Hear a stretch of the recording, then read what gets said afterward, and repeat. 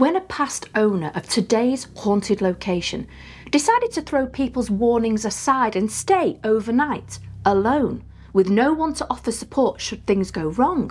They soon realised that the property offered much more than a beautiful location, it also had its own ghostly residents, too. Hey there, dissectors, and welcome to another haunting episode. I'm feeling much better after going away for a week and, lucky me, coming back with COVID. So, today we're going to delve into the dark history of Balsam Mountain Inn, which is located in North Carolina, known to many as the Stanley Hotel of the South. The story of this fabulous inn begins in the early 1900s when Joseph Kenny and Walter Christie, two brothers in law, decided to journey from Georgia to North Carolina with big dreams of starting their own business. They both wanted to take full advantage of the natural beauty of the area, and with their love of fishing, hunting, and other outdoor pursuits, they opened up a modest boarding house which offered these services, as well as great home cooked food. In no time at all, their business was thriving, and by 1908, construction was completed on their new, improved hotel named Balsam Mountain Inn. The new hotel offered about 100 rooms, each having its own porch that took in the extensive views. After a time, though, other mountain inns were struggling due to expensive upkeep costs, as well as succumbing to fires. But Joseph and Walter had done their research well and nestled their hotel in a great location. It was between Plott Balsam and Richland Balsam, two large mountain ranges that are said to be 3,000 feet above sea level. The Balsam Gap proved to be a great location for railroad tracks, becoming home to one of the busiest railroad stations in the east. So, with the constant foot traffic and long term guests who liked to stay during the summer months, the men were making plenty of money. And in time, the charm of the property earned it a new nickname one that has stuck to this day Grand Old Lady. Like any advancements we make, there is always a consequence. With less people using the railroads and interstates becoming more common, the Balsam Gap became quite a lonely place, with the grand old lady becoming a sad shadow of her former self as she fell into disrepair.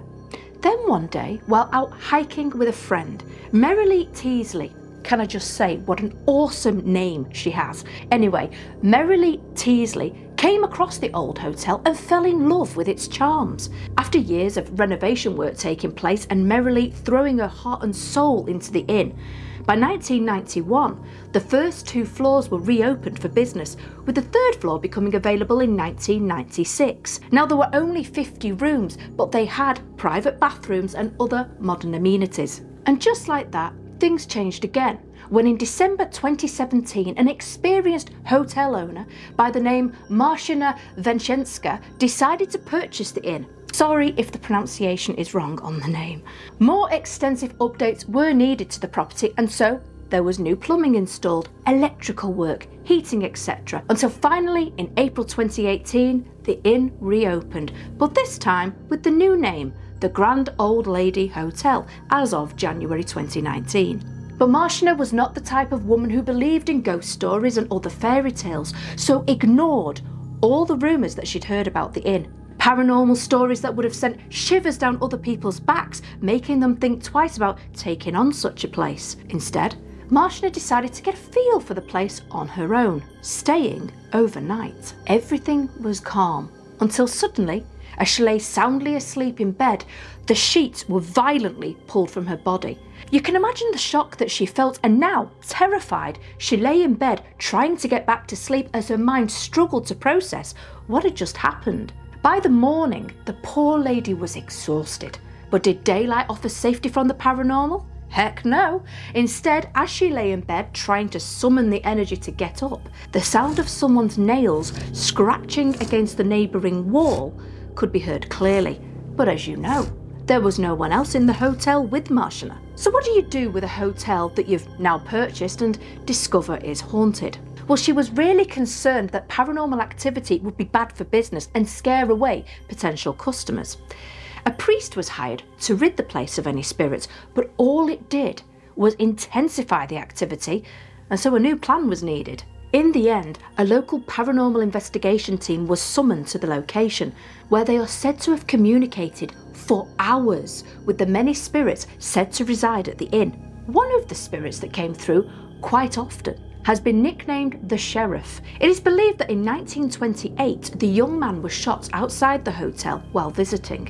Knowing the poor man was near death, his body was carried up to room 205, where he slowly bled to death. Now, in life, the sheriff was said to be a very attractive guy who loved the attention of the ladies. So it's not much of a shocker to discover that his ghost mostly becomes active around women who stay in room 205, way more than with any of the men.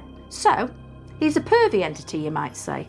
But the other spirits of the Balsam Mountain Inn are quite active too, with guests reporting ghostly footsteps heard in the hallways, as well as a presence that lingers outside guests' rooms. People have even heard voices and names being whispered in the middle of the night, which is really creepy as hearing a disembodied voice is bad enough, but in the dark too. That's a nope. Then there are the shadow figures that are seen throughout the hotel too, in the, in the hallways and even rooms, where people have witnessed black masses move around on their own volition and are considered spectres. And just like the horrible fright that Marcia experienced, guests have been awoken in the middle of the night by a mischievous entity who loves nothing better than stripping the sheets off the bed of sleeping guests. So when you can't ignore the fact that the hotel is haunted, why not embrace it? Registers have been left in each room that is thought to be haunted so that visitors can write down their experiences if they have them. There are also small iron signs above rooms that are thought to be active that simply state the word welcome. Now, I'm not sure if the welcome is for the ghosts or the guests.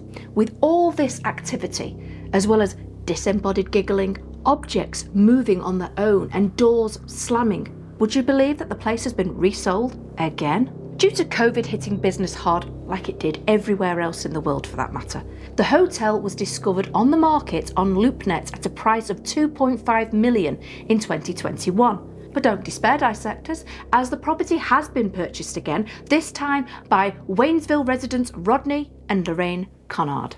Rodney said, We hated to see it fall into disrepair and saw a chance to save it and hopefully bring it back to the community and one of the first things they did after the sale went through was change its name back to Balsam Mountain Inn, a move that has gone down well with locals. Lorraine stated, it was a pleasant surprise how much community excitement there was, having it changed back to Balsam Mountain Inn, getting it reopened, and getting the community involved again. And with the new takeover, the couple have also lovingly restored the property back to its former glory, so that hopefully, for many years to come, visitors can enjoy the beauty of the location, the history, and the paranormal guests that have decided to stick around. So, dissectors, what do you think of today's haunted location? Would you love to take in the mountain views and enjoy a little spooky company for good measure?